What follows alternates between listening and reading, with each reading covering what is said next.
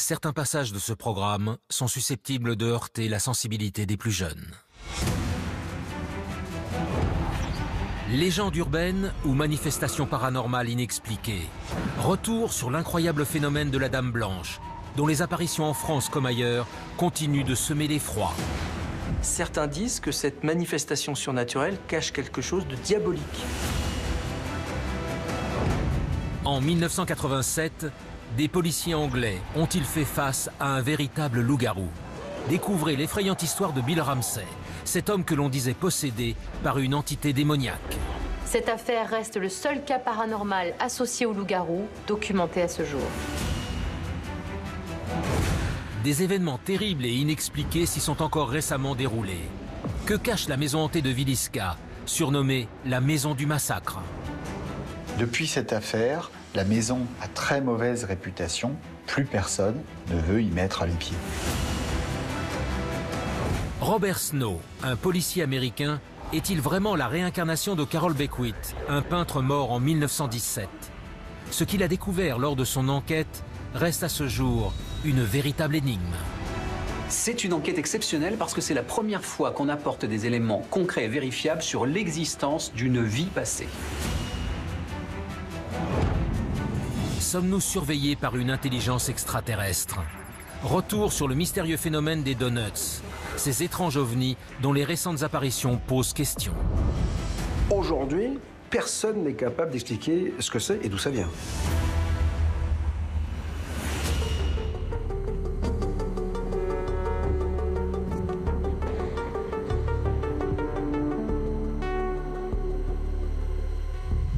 On l'appelle la Dame Blanche, et ses apparitions partout à travers le monde restent l'une des manifestations paranormales les plus énigmatiques de tous les temps. Personne ne s'explique cette apparition, on est clairement face à un mystère. Certains disent que cette manifestation surnaturelle cache quelque chose de diabolique.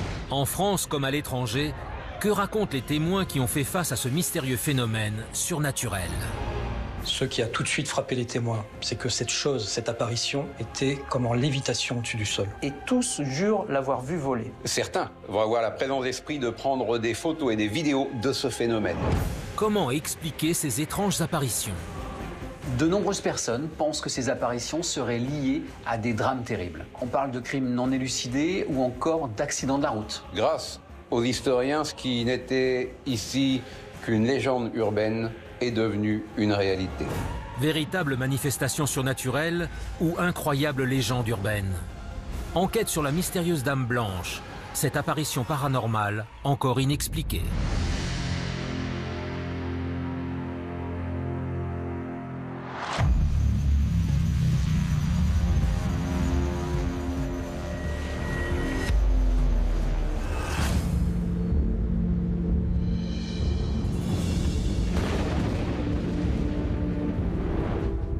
Nous sommes le 25 juin 2007 et ce soir-là, la première chaîne de télévision colombienne ouvre son journal sur une information terrifiante. Selon des centaines de témoins, un mystérieux fantôme aurait fait son apparition dans un parc de la ville de Cucuta. Nous sommes euh, le 25 juin 2007 précisément et en Colombie, tout le monde parle de cette affaire. Tous les journaux télévisés ouvrent leurs éditions avec un sujet inédit, un fait divers absolument paranormal. Bonsoir. Incroyable apparition du fantôme d'une petite fille errant dans un parc de Cucuta. Les habitants disent avoir des preuves de ce mystérieux phénomène. Des centaines d'habitants de la ville de Cucuta affirment avoir vu un fantôme. Tout le monde évoque l'apparition mystérieuse d'une jeune fille vêtue de blanc. Ce à quoi ils ont fait face est impressionnant. Ils ont capturé avec leur téléphone ce qui semble être le fantôme d'une petite fille. Et cet été, l'irrationnel va s'inviter en Colombie. On ne compte plus les témoins qui prétendent avoir vu la silhouette blanche et transparente d'un fantôme en train de se déplacer dans les airs.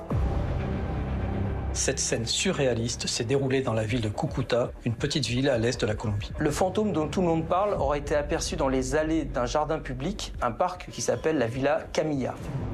Alors, si certains témoins sont effrayés par cette apparition, d'autres vont prendre des photos, vont prendre des vidéos du phénomène en question. Ce qui a tout de suite frappé les témoins, c'est que cette chose, cette apparition, était comme en lévitation au-dessus du sol. Et tous jurent l'avoir vue voler. Quand elle est apparue, elle volait. On a tellement eu peur qu'on a tous pleuré. Mais on a continué à regarder. Une dame à côté de moi s'est même mise à prier. L'un des gardiens du parc, qui s'appelle Orlando Contreras, va même témoigner auprès des journalistes avoir été physiquement touché par ce que tout le monde dit être un fantôme. J'ai senti comme une tape sur l'épaule. Et quand je me suis retourné, j'ai vu quelque chose qui s'en allait vers les arbustes là-bas. Rapidement, dans la ville de Cucuta, c'est la psychose. Les habitants sont effrayés. Tous veulent voir cette fameuse apparition, mais tous finissent par fuir. Personne ne s'explique cette apparition. On est clairement face à un mystère. La seule chose dont on est sûr, c'est que ce n'est pas une hallucination collective. À quel incroyable phénomène les habitants de cette ville ont-ils assisté? Tandis que les médias surnomment cette silhouette la Dame Blanche de Cucuta, l'Église catholique de la région demande à l'évêque Oscar Urbina d'enquêter sur la nature de cette étrange apparition.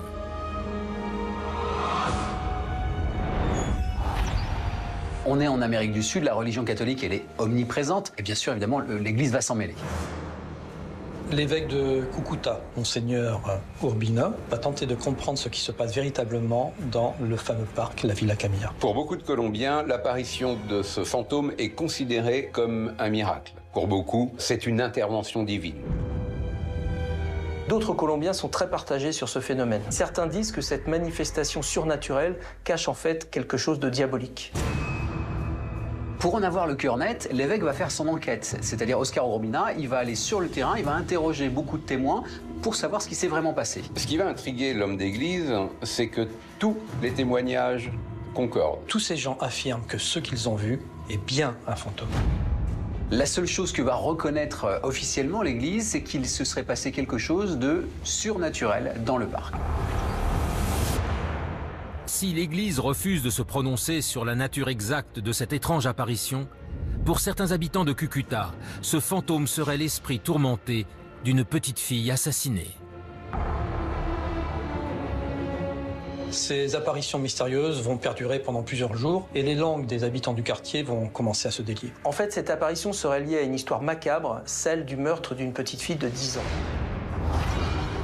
Et d'après ce qu'on sait, le quartier de la Villa Camilla a longtemps été un quartier malfamé. Depuis déjà très longtemps, en fait, les habitants parlent euh, d'un corps, le corps d'une petite fille, qui aurait été retrouvée dans le parc, euh, sauvagement assassinée.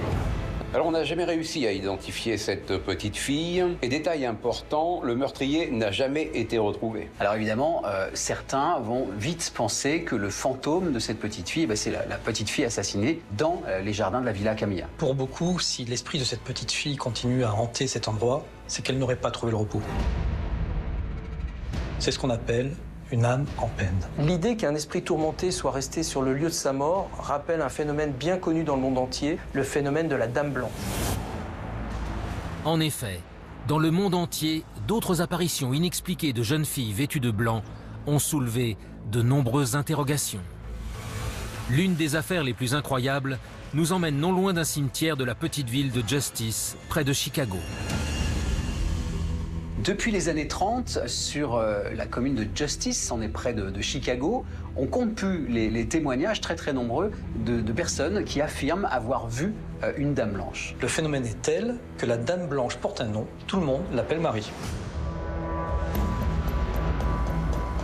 Alors depuis près d'un siècle, cette mystérieuse apparition, connue sous le nom de Mary, fait la une du Chicago Tribune. Le Chicago Tribune, c'est un journal qui a une grande notoriété dans tout l'Est des États-Unis et qui a une réputation sérieuse. Quiconque consulte les archives de ce journal peut retrouver la trace de plusieurs dizaines d'articles où des témoins affirment avoir rencontré le fantôme d'une jeune fille.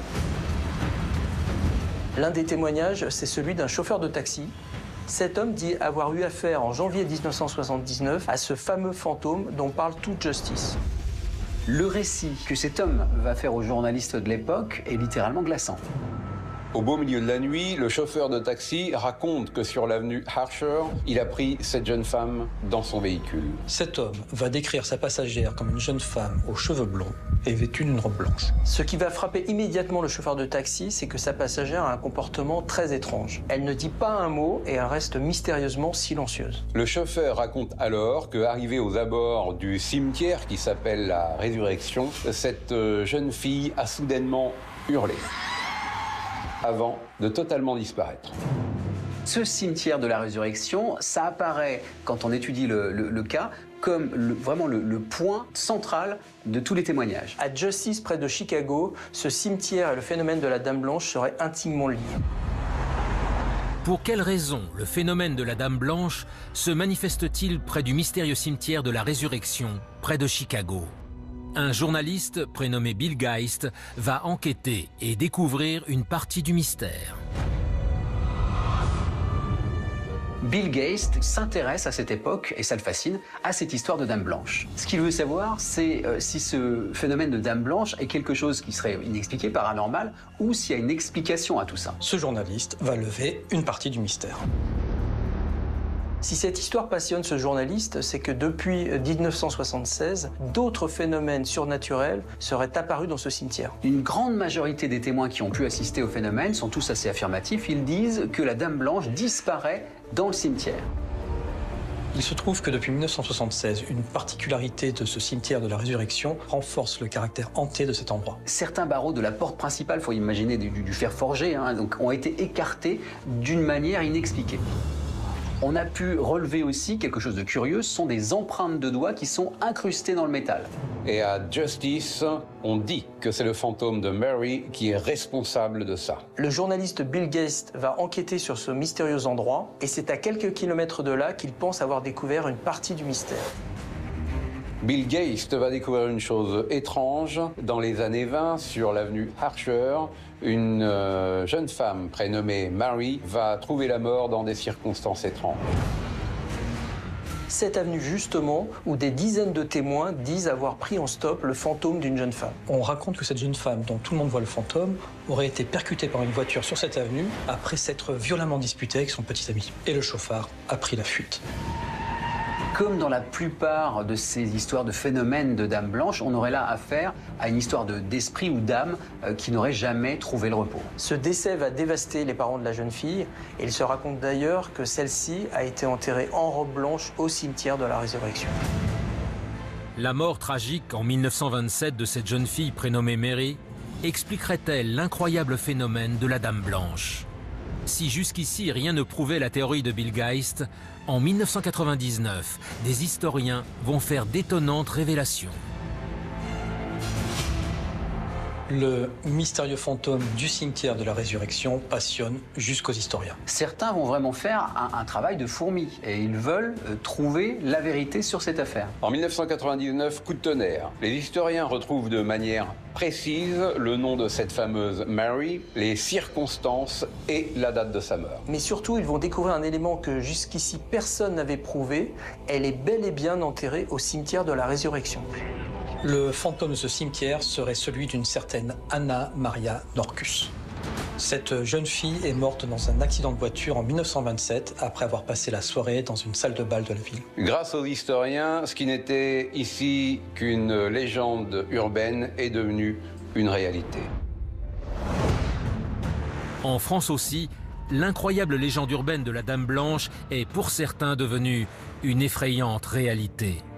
Nous sommes le 20 mai 1981 dans la ville de Montpellier. C'est ce soir-là que quatre jeunes gens arrivent terrorisés au commissariat central de la ville.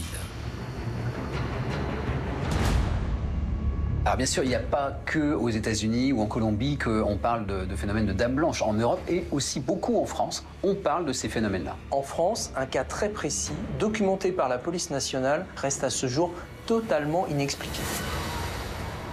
Nous sommes le 20 mai 1981 et ce jour-là, les policiers voient débarquer dans le commissariat central de Montpellier quatre jeunes qui ont l'air complètement paniqués. Ces quatre jeunes gens vont affirmer à des policiers médusés avoir pris en stop un fantôme.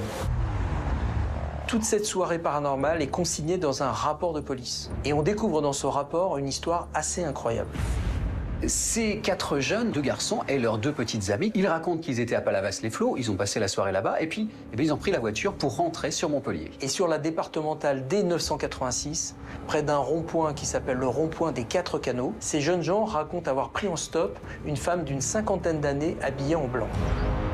Au départ, les deux jeunes filles qui se trouvent à l'arrière du véhicule s'opposent à ce que les garçons prennent cette femme en stop. Si les deux jeunes filles, euh, quelque part, refusent que euh, l'autostoppeuse monte dans, dans la voiture, c'est pas pour une histoire de peur ou de fantôme, c'est tout simplement parce qu'elles n'ont pas du tout envie d'être l'une ou l'autre au milieu, c'est-à-dire la, la pire de la- des places à l'arrière de la voiture. Donc elles ne veulent pas se pousser, quoi. Alors les garçons vont tout de même s'arrêter et c'est pourquoi cette femme d'une cinquantaine d'années, vêtue de blanc, va se retrouver assise entre les deux jeunes femmes. La voiture vient de démarrer, la personne qui vient d'entrer dans cette voiture, elle est finalement prise en quelque part en sandwich entre deux jeunes filles. La voiture roulant, elle n'a aucun moyen quelque part de s'échapper, en tout cas de sortir du véhicule sans que ça se voit. Et pourtant, il va se passer une chose terrifiante qui va marquer ces jeunes gens à jamais. Cette femme, au comportement étrange et qui ne dit pas un mot, va se mettre soudainement à hurler à l'approche d'un virage. Son cri est tellement inattendu que le conducteur va freiner brutalement. Et c'est à cet instant précis que la soirée entre amis va basculer. Ces jeunes affirment que la femme qui était sur la banquette arrière a purement et simplement disparu.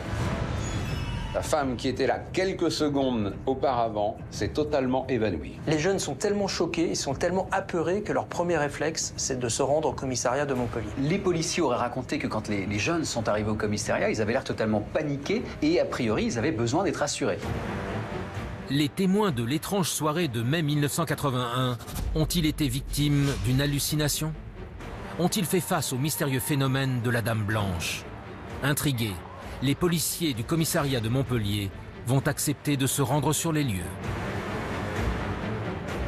Les policiers vont se rendre rapidement à l'évidence, ces jeunes sont en état de choc. Et ils écartent toute possibilité d'une mauvaise blague. Ces jeunes vont être euh, interrogés séparément, c'est intéressant de le- le noter, et ils vont tous raconter exactement la même histoire, point par point. Clairement, pour les policiers du commissariat de Montpellier, il s'est effectivement passé quelque chose de très étrange sur la route qui sépare Montpellier de Palavas-les-Flots. Le récit de ces quatre jeunes est tellement crédible qu'une patrouille de police est dépêchée sur les lieux de l'apparition supposée. Malheureusement, sur place, les policiers ne vont euh, rien constater d'anormal. 40 ans après, personne n'a pu éclaircir ce qui est arrivé à ces jeunes sur la départementale 986 entre Montpellier et Palavas-les-Flots. Leur histoire, consignée dans les archives de la police, est cependant entrée dans la légende. Depuis cette mystérieuse affaire survenue près de Montpellier, d'autres cas, de nombreux cas, se sont produits euh, en France, des cas plus ou moins vérifiables. Le dénominateur commun, il est surprenant, c'est souvent des jeunes filles ou des jeunes femmes. Et c'est toujours une histoire dramatique, c'est-à-dire un accident, un meurtre, quelque chose d'assez lourd.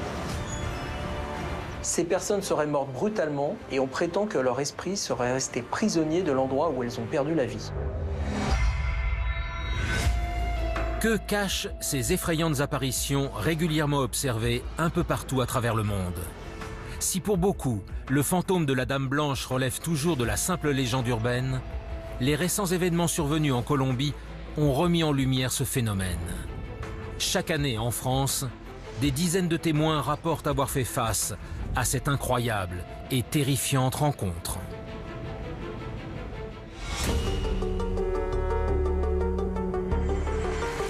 Il s'appelle Bill Ramsey.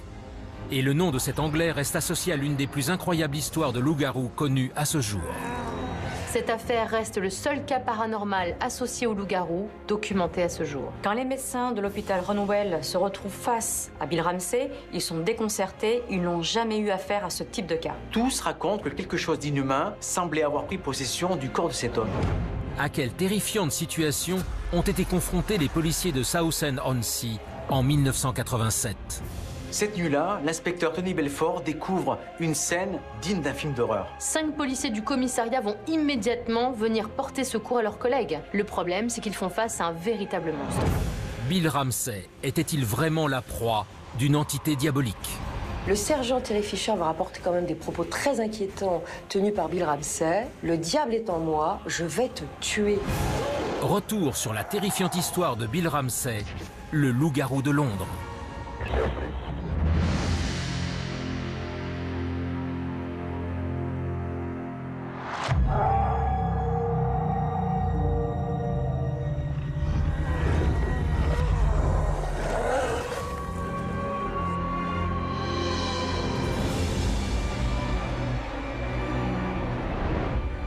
Nous sommes en Angleterre le 24 juillet 1987. Ce jour-là, les habitants du Royaume-Uni découvrent stupéfaits en une du célèbre quotidien The Sun le terrifiant fait divers vécu deux jours plus tôt par les policiers d'une petite ville située à l'est du pays.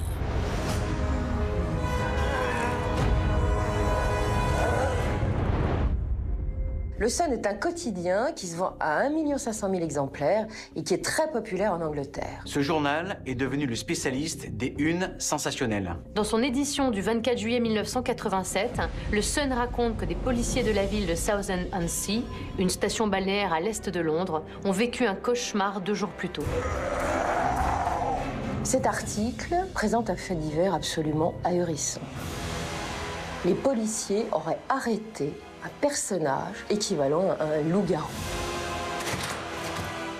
Un loup-garou, c'est comme la créature mythique et effrayante par excellence. Pour le commun des mortels, cette créature n'existe pas.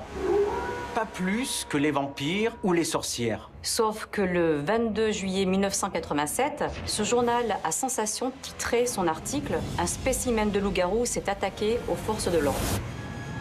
Les policiers de la station balnéaire de Southend ont fait face à une situation surnaturelle, qui a d'ailleurs failli coûter la vie à l'un d'entre eux. Que s'est-il passé ce 22 juillet 1987 dans la petite ville de Southend-on-Sea Cette incroyable histoire débute au commissariat de la ville. Il est 19h. Les policiers Terry Fisher et Tony Belford n'imaginaient pas faire face ce soir-là à l'une des situations les plus terrifiantes de leur carrière. À la fin de la journée du 22 juillet 1987, les policiers vont voir débarquer dans leur commissariat une femme qui paraît absolument affolée. Les policiers diront même que c'est comme si cette femme avait vu le diable en personne. Cette jeune femme qui s'appelle Lorraine hurle aux policiers qu'elle est poursuivie par quelque chose de terrifiant. Immédiatement, le sergent Terry Fisher sort du commissariat et découvre sur le parking un homme au comportement étrange. Et sans que le policier ait le temps de réaliser ce qui est en train de se passer, l'homme lui saute à la gorge. Sous la violence du choc, son collègue, l'inspecteur Tony Belfort, dira qu'il a vu le sergent Fisher être projeté à plusieurs mètres au-dessus du sol.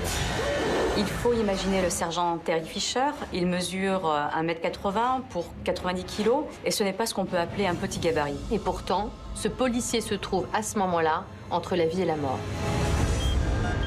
L'homme qui vient de l'agresser semble doté d'une force surhumaine. Et l'agression ne va pas s'arrêter là. C'est une véritable scène de combat qui va se dérouler sur ce parking des policiers contre ce personnage. Cinq policiers du commissariat vont immédiatement porter secours à leurs collègues. Le problème, c'est qu'ils font face à un véritable monstre. L'un des policiers racontera que lui et ses collègues étaient balayés au sol par la force surnaturelle de cet individu. Il faudra pas moins d'une heure pour que ces cinq policiers arrivent à maîtriser cet homme qui est absolument déchaîné. Tandis que le sergent Terry Fisher, entre la vie et la mort, est évacué de toute urgence vers l'hôpital, les policiers de Southend-on-Sea isolent en cellule l'étrange individu qu'ils ont interpellé. Mais pour eux, cette effrayante soirée ne fait que commencer. Les policiers vont enfermer cet individu dans une cellule et ils vont attendre plusieurs heures avant de l'interroger. Une fois qu'ils n'entendent plus de bruit et que le personnage paraît calmé, ils vont enfin l'interroger. Et c'est Tony Belfort qui va s'y coller et à sa grande stupeur, il va réaliser que cet individu a l'air tout à fait normal. Rien à voir avec ce qui s'est passé juste avant. Cet homme s'appelle Bill Ramsey. Il a 44 ans, il est père de trois enfants. Et la première chose qu'il demande, c'est que l'on prévienne son épouse. Chose étonnante, cet homme qui a failli tuer un policier quelques heures plus tôt se demande ce qu'il fait au commissariat. Il n'a aucun souvenir de tout ce qui s'est passé. Inutile de dire que les policiers sont complètement désemparés face à une telle situation euh, qui sort de l'ordinaire. Bill Ramsey est reconduit en cellule et avant même que les policiers puissent l'interroger à nouveau, leur cauchemar va recommencer. L'inspecteur Tony Belford racontera avoir entendu des grognements terrifiants provenir de la cellule de Bill Ramsey. Cette nuit-là, l'inspecteur découvre une scène digne d'un film d'horreur. Bill Ramsey a réussi à passer une partie de son corps à travers une petite fenêtre située sur la porte de la cellule. Personne ne peut plus approcher de la porte parce que cet homme-là, maintenant, à travers la lucarne, griffe et essaye de mordre tout le monde. Les policiers diront qu'ils ont eu l'impression d'avoir eu affaire à une bête sauvage. La situation est telle que les policiers vont faire appel aux pompiers de la ville pour les aider à transférer Bill Ramsey vers un hôpital psychiatrique. Tout de même, il faudra pas moins de deux injections de tranquillisants pour maîtriser euh, cet énergumène de Bill Ramsey. Alors que Bill Ramsey est transféré vers l'hôpital psychiatrique de Runwell, la police de Southend-on-Sea ouvre une enquête. Les policiers vont alors découvrir la longue série de terrifiantes agressions dont cet homme s'est rendu coupable.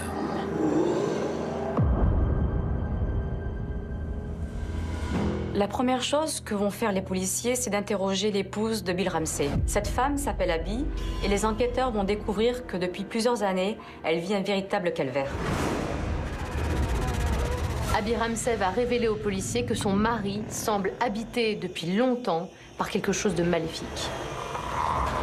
Et elle va leur raconter aussi qu'à diverses reprises, il s'est déjà attaqué à d'autres personnes et que très curieusement, une fois la crise passée, eh bien, il n'a plus aucun souvenir. Les policiers découvrent que six ans plus tôt, en 1981, Bill Ramsey s'en est pris à un de ses collègues de travail et qu'il l'a grièvement blessé après l'avoir mordu. Dans le cadre de l'enquête, on va aussi apprendre que le 5 décembre 1983, euh, lors d'une crise, eh il va se rendre spontanément, euh, Bill Ramsey, à l'hôpital. Et là, euh, ça va très mal se passer, puisqu'il va s'en prendre à une infirmière et également à un policier qui se trouve présent. On va retrouver cet homme, la mâchoire plantée dans l'avant-bras d'une infirmière, à un tel point qu'il faudra une injection d'un puissant sédatif pour sauver le bras de cette femme. Abby Ramsey avouera que son mari a même été jusqu'à lui demander de le faire interner à vie pour le protéger de lui-même. Elle dira que la plus grande peur de son mari serait de découvrir un jour qu'il a tué quelqu'un. Bill Ramsey serait-il la victime d'une terrible force maléfique? Son cas relève-t-il d'une maladie psychiatrique jusqu'ici inconnue? Les médecins de l'hôpital de Runwell, où il est interné, vont décider d'en avoir le cœur net. Quand les médecins de l'hôpital Runwell se retrouvent face à Bill Ramsey, ils sont déconcertés. Ils n'ont jamais eu affaire à ce type de cas. Ils décident, durant 28 jours, de lui faire subir une batterie d'examens. Et résultat, ils ne vont rien trouver et ne savent pas expliquer de quoi souffre cet homme. Les médecins ont écarté toutes les maladies mentales. Mais ce qu'ils n'arrivent pas à expliquer, c'est comment cet homme peut résister à des doses hors normes de tranquillisants. Alors en plus, ce qui les sidère complètement, ces médecins, c'est que cet homme, il est gros comme une allumette, c'est un petit gabarit, il fait 1m70, et pourtant il a une force surhumaine. Il est capable de, jeter en l'air un policier qui est une armoire à glace quand même. Les médecins vont à un moment donné évoquer la lycanthropie. C'est une pathologie où le patient se prend pour un loup-garou. Mais entre se prendre pour un loup-garou et pouvoir envoyer cinq policiers bâtis comme des armoires à glace au tapis, il y a quand même un monde. Au bout de 28 jours, quand Bill Ramsey va sortir de l'hôpital, eh bien, force est de constater qu'aucun des médecins est capable de poser un diagnostic. On ne sait pas du tout de quelle pathologie il peut bien souffrir. Pour la médecine, le cas de cet homme reste un mystère.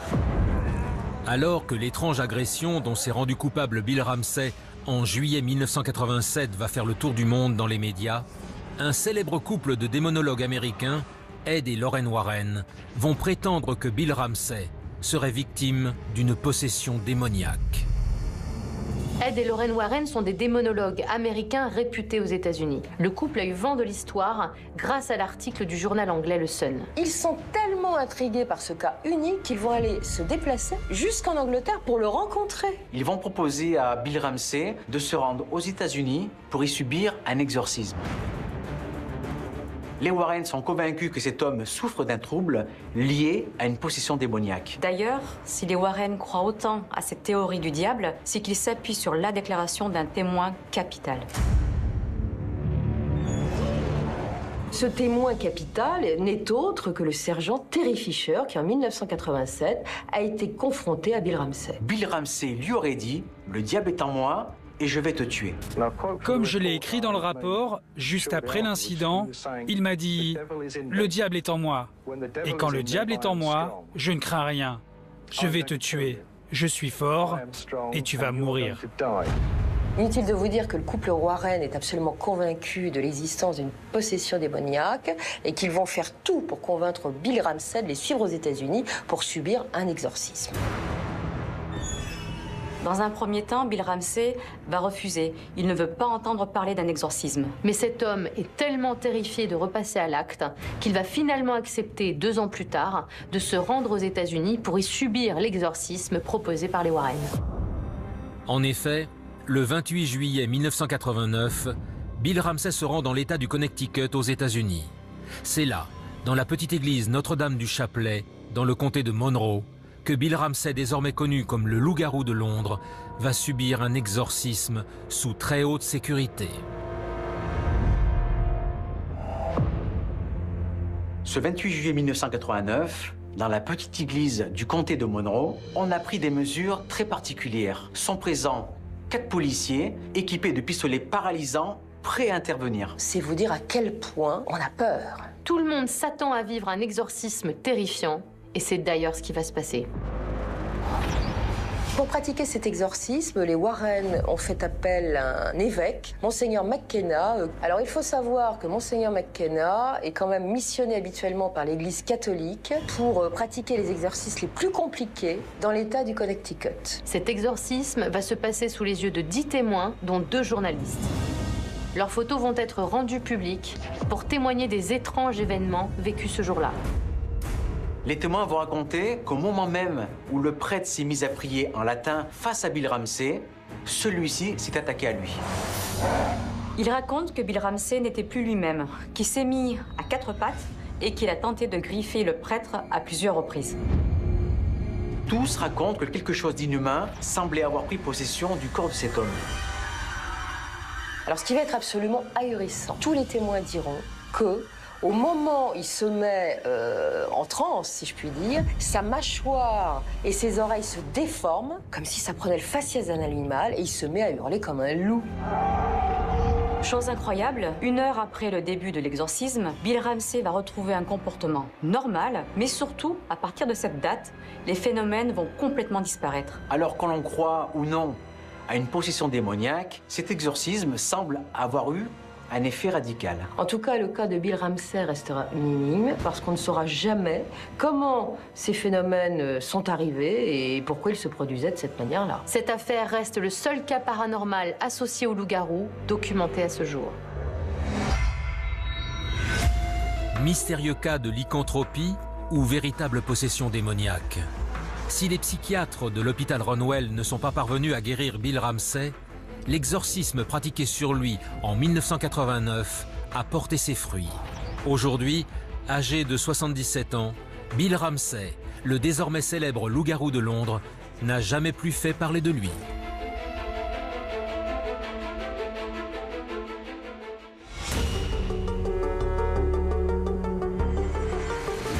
On l'appelle la maison du massacre.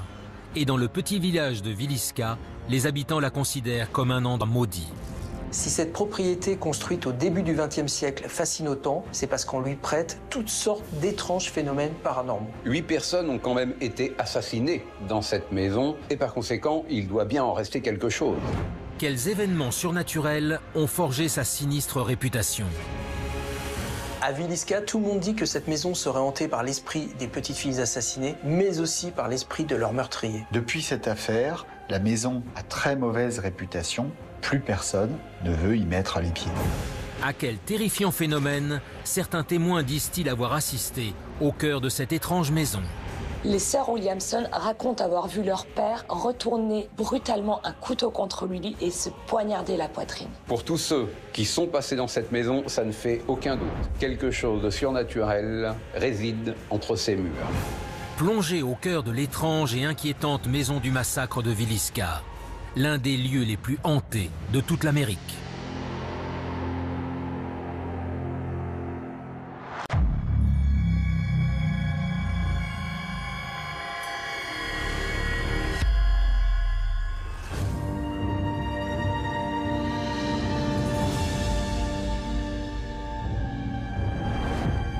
Nous sommes le 7 novembre 2014 à Villisca, un petit village de 2000 habitants situé dans l'Iowa. Ce jour-là, Robert Lorsen, 37 ans, est transféré de toute urgence par hélicoptère à l'hôpital. Cet homme entre la vie et la mort vient de passer la nuit dans une maison que l'on dit hantée et surnommée la maison du massacre. Nous sommes le 7 novembre 2014 et ce jour-là, à l'hôpital de Creighton University, c'est la panique. Le personnel de l'hôpital voit arriver un Américain de 37 ans, Robert Lawson. Robert Lawson, c'est un chasseur de fantômes, un passionné d'enquête paranormale. Cet homme vient d'échapper à la mort après avoir passé la nuit dans une maison un peu particulière. Cette maison est située au 508 de la deuxième rue Est, dans la petite bourgade de Villisca, située dans l'état de l'Iowa. Cette maison, elle a pour réputation d'être hantée. On l'appelle même la maison du massacre. Chaque année, cette maison attire des milliers de visiteurs comme Robert Lawson. Si cette propriété construite au début du XXe siècle fascine autant, c'est qu'on lui prête énormément de phénomènes paranormaux. Et cette nuit-là, justement, Robert Lawson va être victime de ces phénomènes. Le 6 novembre 2014, Robert Lawson et deux de ses amis chasseurs de fantômes ont loué la maison pour enquêter sur ces manifestations surnaturelles. Malheureusement, cette nuit-là, rien ne va se passer comme prévu. Il est 1h du matin et les deux amis de Robert Lawson sont dans le jardin quand soudainement ils vont entendre un hurlement qui provient de la maison. Ils se précipitent dans la maison et en arrivant au premier étage, ils trouvent leur ami Robert Lawson qui baigne dans une mare de sang.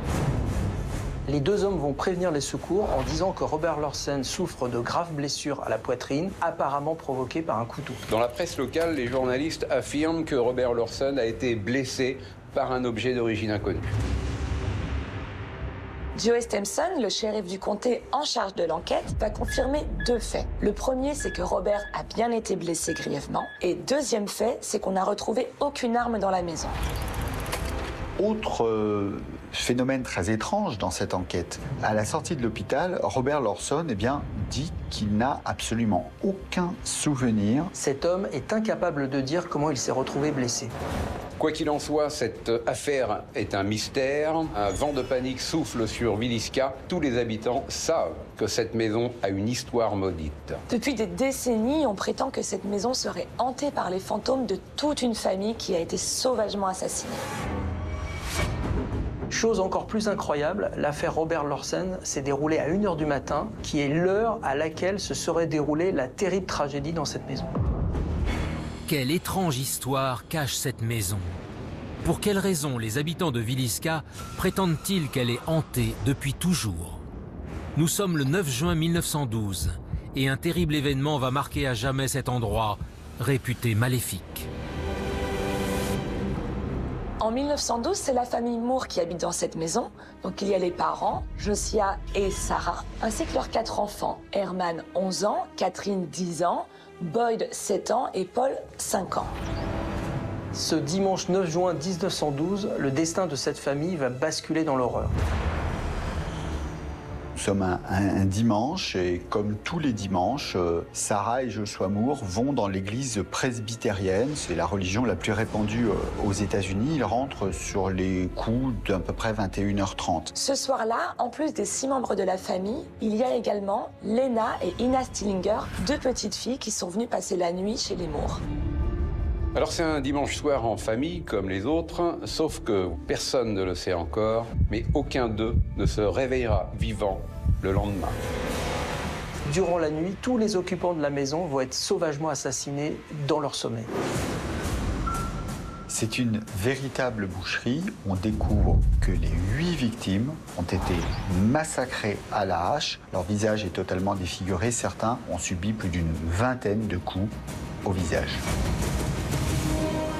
Ce massacre est encore à ce jour non élucidé. La police a enquêté pendant des années, mais ils n'ont jamais réussi à retrouver le meurtrier. Personne ne peut dire qui a massacré cette famille à la hache. Si les policiers n'ont jamais su ce qu'il s'était passé dans la maison durant cette nuit du 9 au 10 juin 1912, les enquêteurs vont découvrir sur la scène de crime une succession d'indices effrayants. Ce qui intrigue un peu la police en arrivant sur la scène de crime, c'est que tous les miroirs ont été recouverts d'un drap. Il faut savoir que dans certaines régions américaines, après un deuil, on recouvre les miroirs pour éviter que les esprits des gens qui viennent de mourir ne restent prisonniers de l'endroit et reviennent se venger. Les enquêteurs font tout de même face à une scène de crime particulièrement étrange, puisque les huit victimes ont été retrouvées assassinées dans leur lit. Les enquêteurs ne comprennent pas comment huit personnes ont pu être assassinées sans qu'aucune d'elles ne se réveille et puisse s'enfuir. La deuxième chose qui intrigue, ce sont les visages qui ont tous été recouverts d'un linge. La police va se poser beaucoup de questions, notamment pourquoi euh, le tueur a, a fait toute cette mise en scène. Est-ce qu'il aurait voulu se protéger de quelque chose? Est-ce qu'il avait peur de quelque chose? Est-ce que c'était pour se protéger d'une vengeance des victimes qui reviendraient de l'au-delà? Le tueur a eu peur, mais de quoi? Ça reste un mystère. Pour les autorités, le mystère est total. Pas d'assassin, pas de mobile et un crime pour le moins étrange. Pour les habitants de Villisca, Iowa, ce massacre de 1912 est à l'origine de tous les phénomènes paranormaux qui vont se produire au cours des décennies qui vont suivre. Alors que depuis cette mystérieuse tragédie, tout le monde à Villisca surnomme cette maison la maison du massacre, cet endroit marqué par la mort va rester durant près de 20 ans à l'abandon. Mais en novembre 1930, Homer et Bonnie Reiter, un jeune couple, décident de s'y installer. Ils vont alors assister à d'étranges phénomènes. Alors pour les writers, euh, c'est une bonne affaire, d'autant plus qu'ils ne savent pas ce qui s'est passé euh, dans cette maison. Mais très rapidement, ils vont se rendre compte qu'ils ne sont pas dans une maison comme les autres. Bonnie Writer racontera que très rapidement, elle a commencé à entendre des bruits étranges et aussi à sentir des courants d'air glacé parcourir la maison. Il y a quelque chose de beaucoup plus grave qui se produit. Elle est couchée, pas encore endormie, et tout d'un coup, il y a en face d'elle un homme qui se tient avec une hache dans la main. Bonnie Writer, elle est terrifiée, mais c'est quelqu'un de rationnel, donc elle va aller consulter des médecins. Et les diagnostics de tous les médecins vont se rejoindre, puisque tous disent que c'est une simple hallucination provoquée par sa grossesse. Mais le problème, c'est que Homer Ritter, son mari, va lui aussi être témoin de phénomènes étranges. Homer Writer expliquera qu'une nuit, il a entendu distinctement des pas dans l'escalier de la maison. Or, comme il l'affirme, excepté lui et sa femme, il n'y avait personne d'autre dans la maison. Et là, évidemment, euh, c'est quelque chose qui euh, glace le sang euh, de Homer. Qu'est-ce qui s'est passé Il a très distinctement entendu des pas et qui ne correspondent à rien du tout. Dès le lendemain, le couple Writer est tellement terrorisé qu'ils vont quitter la maison sur le champ. Le couple va plier bagage et il ne reviendra jamais. Le témoignage couple Reiter va être le premier d'une longue série.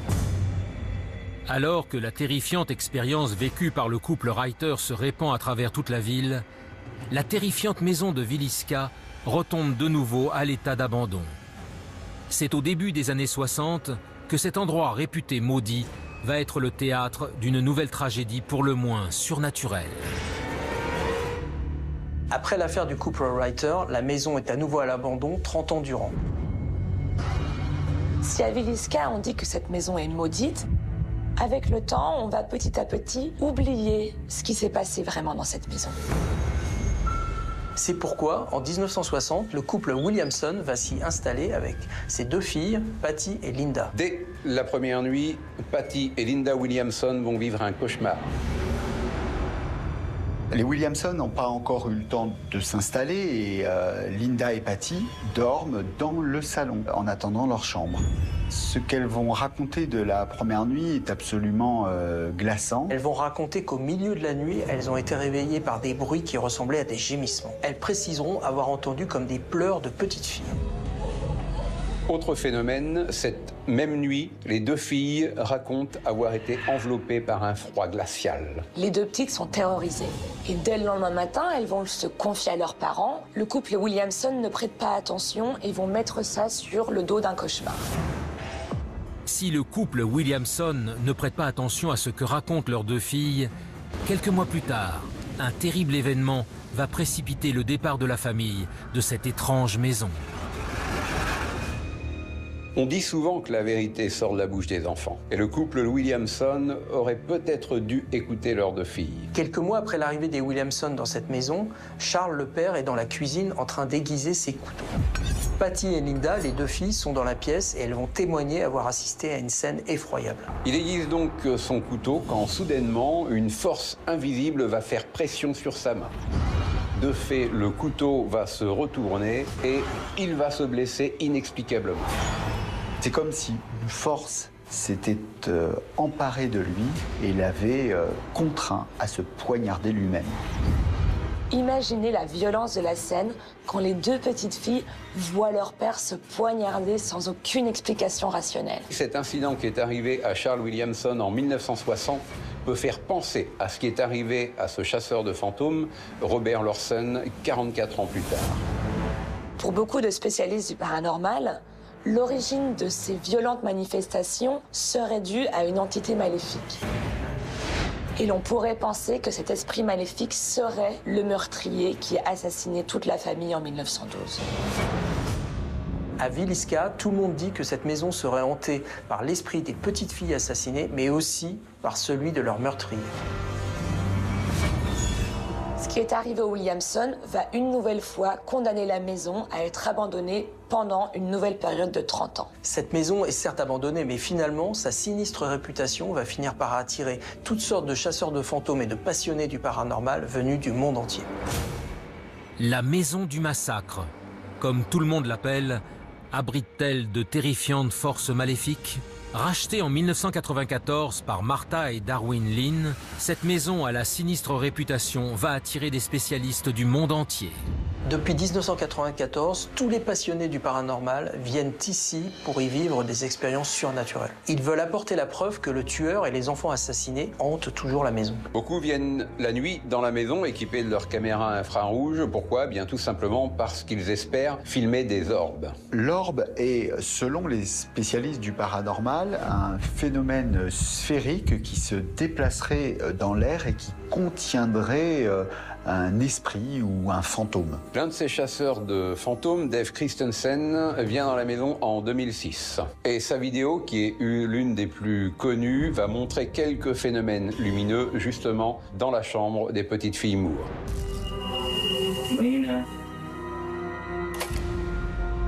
Comme on le comprend dans la vidéo, il appelle une des filles et quelques secondes après, une sphère lumineuse va se manifester à lui. Ce qui intrigue les amateurs de paranormal, c'est que le phénomène filmé se déroule à 1h43 du matin, ce qui correspondrait à l'heure où la famille Moore a été assassinée. En 2010, c'est une équipe de télévision américaine qui va tenter, elle aussi, de documenter et d'enregistrer des phénomènes paranormaux. Mais chose curieuse, ce qu'ils vont obtenir comme preuve du paranormal dans cette maison, ce ne sont pas des images, mais du son. On entend très clairement une voix dire J'ai tué six enfants. Si c'est le cas, cela confirme que l'esprit du tueur est toujours présent à l'intérieur de la maison. Tous ces phénomènes entretiennent la légende noire de cette maison et attirent toujours plus de spécialistes du paranormal. Et voilà pourquoi, le 6 novembre 2014, Robert Lursen et ses deux amis passent la nuit dans la maison. Sauf que pour lui, ça ne va pas se passer comme prévu, puisqu'il va échapper à la mort. On n'a pas d'explication rationnelle qui permettrait de comprendre pourquoi Robert Lorsen s'est lui aussi poignardé dans cette maison. Et à ce jour, Robert Lorsen est la dernière victime de cette maison maudite. Et beaucoup disent que tant qu'on n'aura pas identifié l'auteur de ce massacre qui a eu lieu en 1912, eh bien, les phénomènes continueront de se manifester dans cette maison. Que cette maison soit hantée ou pas, ce n'est pas un endroit comme les autres. Huit personnes ont été assassinées au sein de cette maison. Il est évident qu'il doit y rester quelque chose. Pour tous ceux qui ont visité cette maison, il n'y a aucun doute, quelque chose de maléfique rôde entre ces murs. Malgré l'étrange agression dont a été victime Robert Lorsen en 2014, la sinistre maison est encore aujourd'hui ouverte au public. Aucun autre fait grave n'a été rapporté à Villisca, ce petit village dont le nom signifie esprit mauvais en langage amérindien.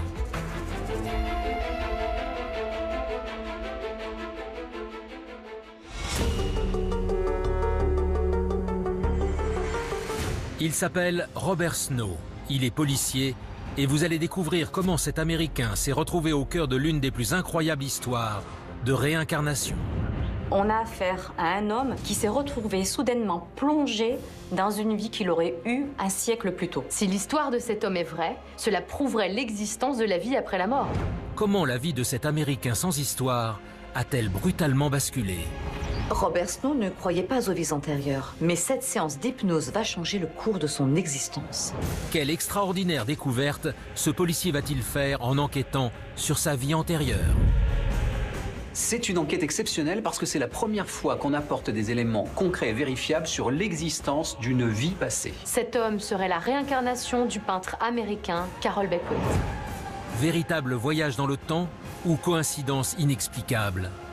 Plongé au cœur de l'incroyable histoire de Robert Snow, l'homme qui aurait eu une autre vie.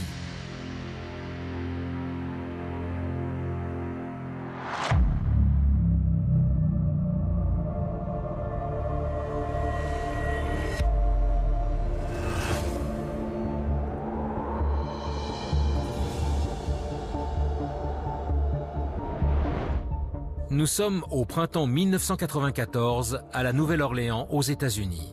Ce jour-là, Robert Snow, un capitaine de police américain, va par le plus grand des hasards faire face à un événement surnaturel.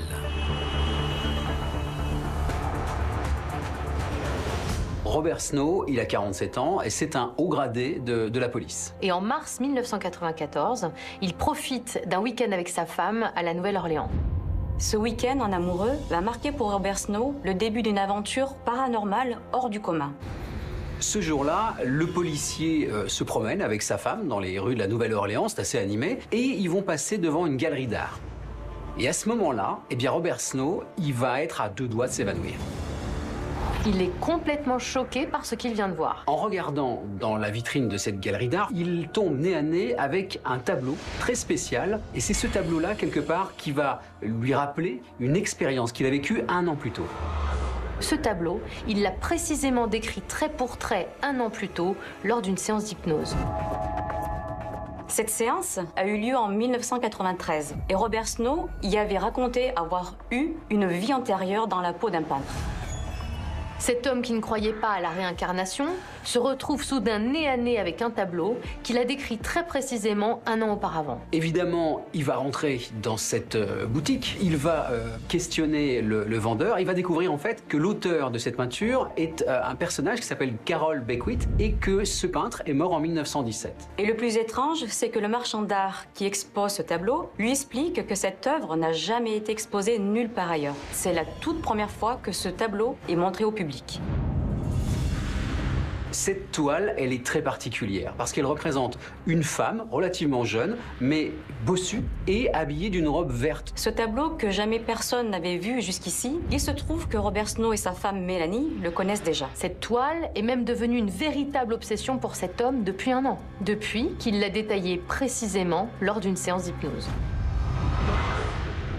Car, chose étonnante, ce tableau encore jamais montré au public est exactement celui qu'aurait décrit ce policier américain un an auparavant au cours d'une étrange séance d'hypnose. On est en janvier 1993 et ce jour-là, Robert Snow, qui a 46 ans, est dans le cabinet d'une psychologue qui pratique l'hypnose et qui s'appelle Helen Griffith. Robert Snow n'a pas rendez-vous avec Helen Griffith pour suivre une thérapie. Il est avec elle car cette spécialiste de l'hypnose veut le convaincre que l'hypnose pourrait servir à résoudre des enquêtes criminelles. Robert Snow, il croit pas du tout euh, à ces histoires euh, d'hypnose. Et pourtant, il accepte de participer à cette séance. C'est une séance de ce qu'on appelle de l'hypnose régressive. Donc, il va repartir en arrière, en quelque sorte, dans sa mémoire et retrouver, souvent, on retrouve en fait des souvenirs refoulés. Durant cette séance, il va se passer une chose que ni la psychologue ni le policier n'avaient prévue. Ce ne sont pas seulement des souvenirs qui vont remonter à la surface, mais toute une vie passée. Quels éléments troublants Robert Snow a-t-il raconté au cours de cette étrange séance d'hypnose Quels mystérieux souvenirs d'une vie passée vont ressurgir et marquer cet homme à tout jamais Ce qu'il va raconter sous hypnose est tout simplement incroyable. Et ce qui est super intéressant, c'est qu'en fait, il va y avoir un enregistrement. C'est-à-dire que durant la séance, on va enregistrer tout ce qui s'est dit. Pendant cette séance, Robert Snow va être plongé dans des souvenirs de ce que l'on peut appeler une vie antérieure. Sur les enregistrements de cette séance d'hypnose, on entend distinctement Robert Snow décrire des images du 19e siècle. Cet homme va donner des détails incroyablement précis. C'est-à-dire qu'il va décrire des rues de New York avec des calèches, des chevaux, des, des gens dans des tenues assez particulières. Euh, ce sont des, des descriptions qui correspondent au New York du 19e siècle. Robert Snow va aussi parler d'une année, 1917. Il va prononcer cette date plusieurs fois. 1917 semble être donc une date importante. Le capitaine de police va aussi raconter qu'il est un artiste peintre, qu'il est dans un atelier. Dans ses visions, de nombreux tableaux l'entourent. Le capitaine de police va aussi décrire son entourage proche. Il va parler notamment de sa femme de l'époque, qu'il dira très belle. Ils étaient très amoureux l'un de l'autre. Et puis, ils vont avoir un problème, a priori, ce couple, c'est qu'ils n'arriveront pas à avoir d'enfants. C'est quelque chose qui apparemment l'affectait beaucoup à cette époque. Sur l'un des enregistrements dont on dispose, on entend Robert Snow accablé par le chagrin. Il semble revivre une grande tristesse provoquée par le décès d'une femme, et il donne des détails. Cette femme dont Robert Snow parle, il va découvrir un an plus tard qu'elle a bien existé. Et pourquoi ce décès a provoqué chez lui une telle tristesse? Mais surtout, euh, il va décrire parfaitement bien le tableau qu'ils vont découvrir quand il se balade avec sa femme de maintenant dans les rues de la Nouvelle-Orléans. Soit un an après cette séance d'hypnose. Ce tableau, il le décrit à Helen Griffith comme s'il était en train de le peindre. Donc il va donner des détails, il va dire que la robe est verte, il va dire aussi que la femme est bossue. Quand la séance d'hypnose se termine, Helen Griffith fait immédiatement écouter à Robert Snow les enregistrements. Robert Snow, cet homme qui ne croit ni à la réincarnation ni à l'hypnose, découvre ce récit incroyable. Et ce qu'il a révélé pendant cette séance va le hanter pendant plusieurs mois.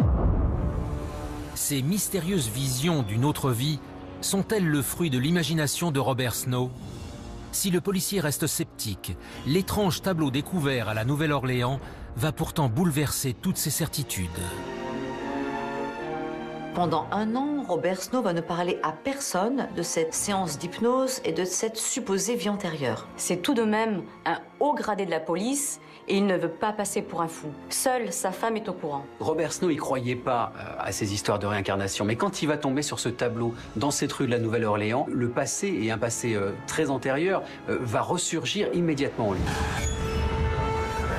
Il apprend par le marchand d'art que l'auteur du tableau, Carol Beckwith, est mort en 1917. Rappelez-vous, 1917, c'est la fameuse date évoquée lors de la séance d'hypnose et qui jusqu'alors n'avait aucun sens. À ce moment-là, Robert Snow a un nom, une date et le fameux tableau de la femme bossue. Mais surtout, il apprend que le peintre euh, Carol Beckwith a été membre de l'école nationale euh, de design de New York à partir de 1894. À partir de là, ce policier va mener une véritable enquête. Et ce que va montrer l'enquête de Robert Snow va clairement apporter les preuves concrètes des vies antérieures. Les informations dont dispose Robert Snow sur le mystérieux peintre Carol Beckwith vont l'amener à l'École nationale de design à New York. C'est dans cette institution que ce policier va faire une incroyable découverte. En mai 1994, soit finalement 100 ans après le peintre, il décide de se rendre à cette fameuse école nationale donc de, de design de New York. Le capitaine de police espère trouver des preuves supplémentaires qu'il a bien été ce peintre dans une autre vie. Ce qu'il va découvrir défie la logique. Robert Snow va, en fouinant dans les archives, tomber sur quelque chose d'inespéré, c'est-à-dire qu'il va tomber sur le journal intime du peintre Carol Beckwith. Ce journal intime, il est conséquent, c'est rien de le dire, hein, il fait quand même 17 000 pages. Le peintre Carol Beckwith a couché sur le papier durant des années, toute sa vie. Donc on a tout en détail. Imaginez la tête de Robert Snow. Le hasard le mène à la Nouvelle-Orléans, où il découvre l'existence de ce peintre, et le voilà en possession de son journal intime. Ce document, et là ça paraît quand même incroyable, retrace 46 années de la vie du peintre. Hein, c'est quand même un exemple assez rare, mais pour euh, le policier, c'est bah, c'est le Graal. Robert Snow va pouvoir vérifier si tout ce qu'il a raconté sous hypnose est vrai. Chose incroyable, en consultant le journal intime de Carol Beckwith, Robert Snow va y découvrir pas moins de 28 événements précis de la vie du peintre évoqué lors de sa séance d'hypnose. Robert Snow, il n'avait pas imaginé, je pense un instant, euh, qu'en 1994, il aurait rendez-vous dans ses archives avec son propre passé. Cet homme va vivre un véritable choc. Souvenez-vous, lors de la séance d'hypnose, il a parlé de la mort d'une femme victime d'un caillot de sang. Il découvre noir sur blanc dans le journal du peintre que sa mère est morte de cette manière-là et qu'il en a été totalement dévasté. Carol Beckwith, dans ses écrits, il raconte aussi qu'il était très amoureux de sa femme et il raconte également que ce couple ne pouvait pas avoir d'enfants. C'est exactement ce que raconte Robert Snow pendant sa séance d'hypnose. Un autre euh, élément troublant, Robert Snow avait décrit sous hypnose comment sa femme jouait régulièrement du piano. Et là encore, c'est exactement ce que le peintre Carol Beckwith écrit dans son journal intime.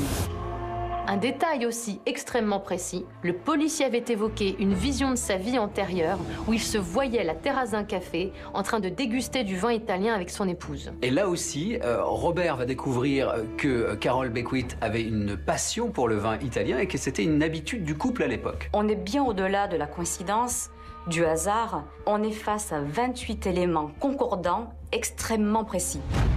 Si pour Robert Snow, il ne fait aucun doute désormais qu'il est bien la réincarnation d'un peintre ayant vécu un siècle plus tôt, un ultime événement va marquer cette incroyable histoire. Bien sûr, tout ça va profondément bouleverser Robert Snow. On a affaire à un homme qui s'est retrouvé soudainement plongé dans une vie qu'il aurait eue un siècle plus tôt. Cette histoire va même pousser Robert Snow, durant l'été 1995, à se rendre dans le cimetière où est enterré le peintre.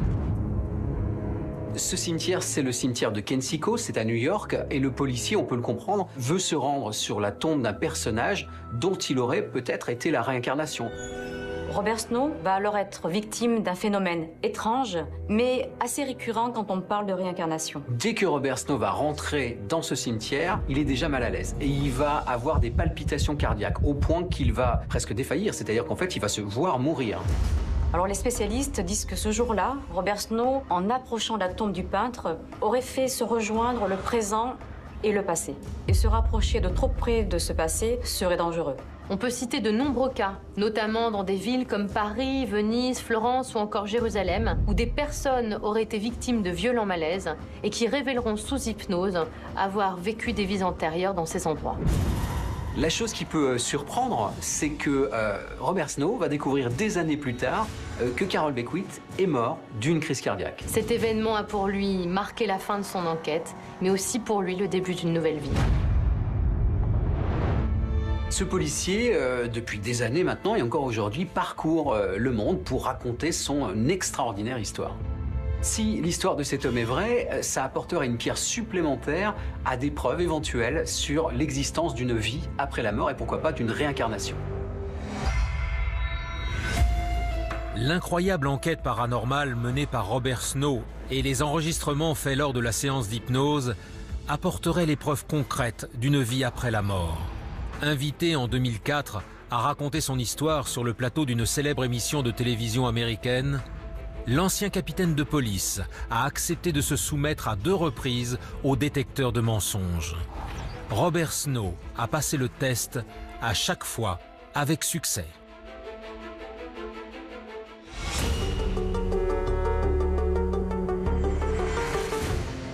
On les appelle les donuts. Et l'observation récente de ces étranges objets volants non identifiés, depuis la Terre comme dans l'espace, interroge tous les spécialistes. Pour le seul mois de novembre 2015, ces objets volants vont être vus à trois reprises, non seulement dans l'espace, mais également depuis la Terre. Sur toutes ces apparitions, il y a un point commun, c'est que le phénomène est circulaire, ne fait aucun bruit et quand même euh, se déplace de manière très étrange. Quelle est la nature de ces mystérieux ovnis? On n'a clairement pas affaire à un débris spatial. Aujourd'hui, personne n'est capable d'expliquer ce que c'est et d'où ça vient. Sont-ils liés à une présence extraterrestre, comme certains l'affirment on peut imaginer que la station spatiale finalement est peut-être surveillée par des entités venues d'ailleurs. Si la NASA peut censurer ce qui se passe à 450 km au-dessus de nos têtes, elle ne peut rien faire quand le phénomène se produit juste sous nos yeux. Retour sur le mystérieux phénomène des donuts, ces étranges ovnis soupçonnés de nous surveiller.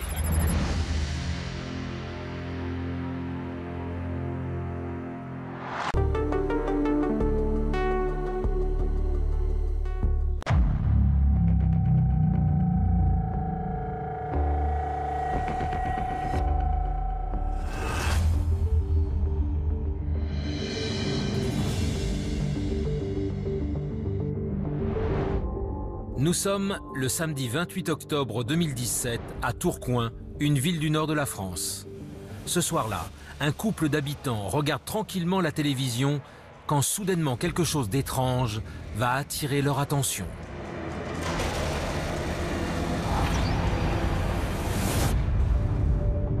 Ce samedi 28 octobre 2017, euh, c'est une soirée somme toute banale pour un chauffeur routier et sa femme qui habitent à Tourcoing. Ce couple sans histoire regarde la télé et euh, cette soirée, a priori comme les autres, va prendre une tournure inattendue. Vers 22h30, ils vont apercevoir quelque chose de très inhabituel à travers la baie vitrée de leur maison. En fait, euh, ils sont intrigués par une étrange lumière qui se déplace dans le ciel. Ce qui est intéressant, c'est que nous avons affaire à des personnes qui sont tout à fait habituées à voir euh, voler des aéronefs à basse altitude. Cette zone du nord de la France est une zone où il y a beaucoup de trafic aérien. En fait, le ciel de Tourcoing est particulièrement fréquenté parce que des aéronefs qui décollent de Paris, Bruxelles ou Londres se croisent au-dessus de Tourcoing. Et à cet endroit, forcément, les couloirs aériens sont très nombreux. Pour les habitants de cette région du nord de la France, voir euh, des lumières évoluer la nuit dans le ciel, ça fait partie de leur quotidien. Sauf que durant euh, cette soirée du 28 octobre 2017, ce que va apercevoir cet habitant de Tourcoing est tellement inhabituel qu'il va décider de sortir dans son jardin et de le filmer avec son téléphone portable. Il est là-bas. Il est là-bas. Pour lui, cela ne fait aucun doute. Ce à quoi il est en train d'assister n'est pas un phénomène normal. Cette vidéo n'est pas de très bonne qualité. Il va parler d'un objet lumineux, circulaire, de couleur orange et percé d'un trou noir. C'est un cercle. Et ce n'est pas tout. Ce n'est pas un seul objet volant que ce témoin et sa femme vont voir ce soir-là, mais cinq aéronefs non identifiés. Il faut savoir que toutes ces observations vont quand même avoir lieu en moins de 15 minutes. Ce qui va intriguer aussi ces témoins, c'est que ces objets volants non identifiés volaient assez bas, sous la couverture nuageuse, assez vite et surtout n'émettaient aucun bruit. Ces deux personnes seront formelles parce que ça ne correspond en rien à ce qu'ils ont l'habitude de voir. Quand il s'agit d'un avion, ils entendent tout de suite le bruit euh, assez identifiable des réacteurs de l'avion. Là, rien de tel, le silence. On est obligé de constater qu'apparemment il ne s'agit ni d'un avion, ni d'un satellite, d'autant qu'on a affaire au passage de cinq objets distincts non identifiés. Il faut admettre que ce qu'on voit sur ce type de vidéo pose des questions. En France, c'est la première fois qu'on rapporte ce genre d'observation. À quel étrange événement ces deux habitants de Tourcoing ont-ils bien pu assister ce soir du 28 octobre 2017 Phénomène météorologique inconnu ou réelle observation d'objets volants non identifiés? Seule certitude, les ingénieurs de la célèbre NASA, l'agence spatiale américaine, avaient eux aussi fait face à ce mystérieux phénomène. Le 5 novembre 2015, soit deux ans avant l'observation faite dans le nord de la France, la NASA découvre qu'il se passe des choses curieuses à 450 km au-dessus de la Terre. Ce jour-là, les caméras de la Station spatiale internationale vont filmer pendant plusieurs secondes quelque chose de totalement impensable. L'ISS, c'est assez intéressant parce que c'est la station euh, internationale euh, qui gravite autour de la Terre. hein. Elle est à 450 km et elle accueille en son sein eh bien des astronautes du monde entier, des Français, des Russes, des Japonais. Et puis on se souvient de Thomas Pesquet qui a passé pas mal de temps là et qui a fait des films euh, formidables. Le but des équipages, une fois à bord, c'est de réaliser diverses expériences scientifiques dans l'environnement spatial. Le 5 novembre 2015, il se trouve que les caméras extérieures de l'ISS vont filmer euh, l'environnement spatial. Et les images sont transmises en direct à Houston, qui est le centre de contrôle de la NASA. Depuis le centre de contrôle, les ingénieurs de la NASA vont soudainement voir apparaître sur leurs écrans un ovni. Sur ces images, on peut voir une sphère de couleur claire avec au centre un trou noir. Il y a de quoi s'interroger, puisque on peut y trouver les mêmes caractéristiques physiques que euh, ceux qu'ont pu observer les deux habitants de Tourcoing. Bon, alors évidemment, euh, certains diront que c'est un débris spatial. Euh, Il y en a 30 000 hein, quand même autour de la Terre qui sont en orbite. Sauf que là où l'affaire devient étrange, c'est que 18 jours plus tard, on va avoir affaire au même phénomène, au même endroit et dans les mêmes circonstances. En effet, le 23 novembre 2015, 18 jours à peine après la première observation de cet ovni mystérieux, les caméras de l'ISS vont capturer une nouvelle fois ce phénomène inexpliqué. Mais lors de cette seconde observation, la NASA va réagir d'une manière pour le moins étrange. Le 23 novembre 2015, l'objet volant non identifié aperçu au début du mois va mystérieusement réapparaître et sera à nouveau filmé. Le phénomène se reproduit au même endroit et de manière identique. Cette deuxième vidéo pose question. On est face à deux objets similaires qui sont filmés au même endroit à 18 jours d'intervalle. Et il semble que nous n'ayons pas affaire à un débris spatial. Il s'agit de sphères et ce que les spécialistes vont remarquer, c'est qu'elles dégagent comme une forme de lueur bleutée. Il faut savoir que la Terre, la lumière de la Terre reflète énormément de, de- de bleu. Et s'il y a des reflets, c'est que cette chose observée est peut-être de nature solide. Si c'est un ovni, bah, il est euh, matériel puisqu'il y a un reflet lumineux. Autre chose étrange, pour certains spécialistes, ce trou sombre au milieu de ces sphères pourrait être une ombre formée par des dômes métalliques. On peut donc se demander ce que ces deux mystérieux objets font à proximité de l'ISS. Certains vont émettre l'hypothèse que la Station spatiale internationale serait surveillée par une intelligence extraterrestre. Si c'était le cas, ce ne serait pas la première fois. Il faut quand même savoir que Buzz Aldrin, qui est un astronaute américain, euh, dira un jour, euh, lors d'une interview, que lors de la mission Apollo 11, euh, lorsqu'ils redescendent sur la Terre, euh, eh bien leur fusée va être suivie par de longues minutes parce qu'on peut considérer être un ovni. Les astronautes ont en effet régulièrement témoigné avoir fait face à des ovnis qui semblaient les surveiller. Force est de constater que ce sont les astronautes les premiers spectateurs, peut-être d'une vie ou d'une intelligence extraterrestre, et qu'ils en rapportent tous des, des propos assez troublants, ça c'est sûr. Ce qui est quand même très intéressant, c'est que pour ce qui concerne ces observations du 5 et 23 novembre 2015, eh bien, on va avoir affaire au même objet qui tourne autour de la station spatiale. En tout cas, l'observation du 23 novembre 2015, contrairement à la première, semble avoir fait réagir la NASA. Brusquement, le signal vidéo des caméras est remplacé par un simple écran bleu. Ce n'est pas la première fois que la NASA coupe la vidéo en présence d'un objet non identifié. Certains spécialistes accusent régulièrement la NASA de censurer et de cacher une vie ailleurs que sur la Terre. L'agence spatiale américaine a-t-elle voulu dissimuler au public l'existence d'objets volants non identifiés de nature extraterrestre? Fait troublant. Deux jours seulement après cette étrange observation, ces mystérieux aéronefs vont à nouveau faire parler d'eux. Nous sommes le 25 novembre 2015 à Bangkok, la capitale de la Thaïlande. Si la NASA peut censurer ce qui se passe à 450 km au-dessus de nos têtes, elle ne peut rien faire quand le phénomène se produit juste sous nos yeux. Ce qui va se passer le 25 novembre 2015 à Bangkok, en Thaïlande, va donner un nom définitif à ces mystérieux objets volants non identifiés. La presse va les baptiser euh, donuts, du nom de ces friandises, toutes rondes avec un trou au milieu, euh, que l'on mange avec délice aux États-Unis.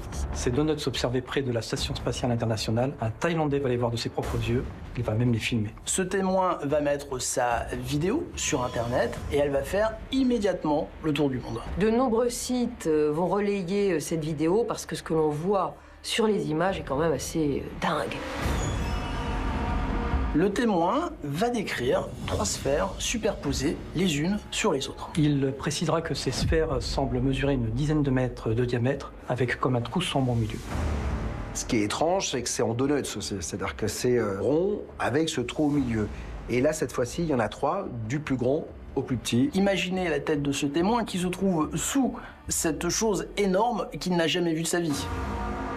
Sur la vidéo, on voit ces trois sphères qui d'un seul coup vont diminuer d'intensité, vont disparaître, comme s'évanouir dans le ciel de Bangkok. Ce qui est étonnant, c'est que cette vidéo a été expertisée et que personne n'a été capable de prouver une supercherie, un trucage ou un simple reflet. Et aucun météorologue ne s'est manifesté pour expliquer qu'il s'agissait d'un phénomène naturel. Ce qui intrigue encore plus, c'est que cette vidéo a des similarités euh, troublantes avec la vidéo de l'ISS filmée 48 euh, heures avant. Pour le seul mois de novembre 2015, ces objets vont être vus à trois reprises, non seulement dans l'espace, mais aussi depuis la Terre. Et pour tous les passionnés, eh bien, ces observations sont un phénomène récurrent. On sait que régulièrement, euh, ce type d'objet euh, très particulier euh, survole notre Terre, hein, et personne jusqu'ici n'a pu s'expliquer d'où ça venait et ce que ça pouvait bien être. Que cache l'observation de plus en plus régulière de ce type d'ovni? Si personne n'a été en mesure d'expliquer cette étrange présence dans l'espace aérien terrestre, ce phénomène semble être une réalité mondiale. Non seulement ces ovnis en forme de beignets sont observés régulièrement, mais on les voit également aux quatre coins de la planète. Autre observation, le 24 juin 2016, en Russie. On est euh, du côté de la mer Noire et à côté d'un site industriel très, très, très pollué. Cette vidéo a fait la une des journaux télévisés russes, puisque en Russie, comme aux États-Unis, on déteste ne pas savoir ce qui survole l'espace aérien. La vidéo euh, tournée en Russie peut faire penser à un phénomène de smoking ring. Alors le smoking ring, euh, c'est un phénomène euh, qui se forme, une sorte de petit nuage circulaire, un anneau en fait, qu'on voit apparaître lorsqu'il y a des explosions de carburant notamment. Le lieu où a été tournée la vidéo est un site industriel.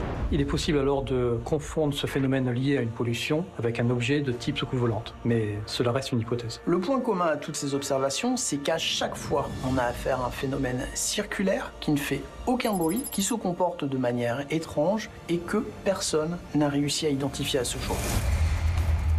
Est-ce que cette présence de donuts dans nos cieux euh, signifie qu'une euh, intelligence nous surveillerait ou est-ce que c'est tout simplement un phénomène météorologique plutôt euh, original? La question, elle est simple. Hein. Qu'est-ce que c'est que ces donuts finalement? Soit c'est un phénomène totalement naturel, qui va s'expliquer avec le temps peut-être, ou soit un phénomène extraordinaire et peut-être même un engin piloté par une intelligence extraterrestre. Ces phénomènes sont en tout cas un mystère de plus dans l'épais dossier des phénomènes aériens non identifiés. Régulièrement, de nouveaux témoins révèlent sur Internet avoir observé, photos ou vidéos à l'appui, ces étranges ovnis connus mondialement sous le nom de Donuts. Si la NASA n'a jamais communiqué officiellement sur ces manifestations inexpliquées, une interrogation demeure. Ces apparitions sont-elles liées à la présence dans notre espace aérien d'une intelligence venue d'ailleurs